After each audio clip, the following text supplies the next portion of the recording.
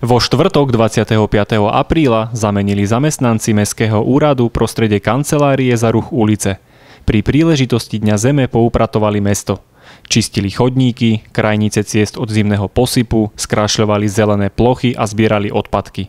Mesto zabezpečilo pre každého zamestnanca pracovné pomôcky, plastové vrecia a rukavice.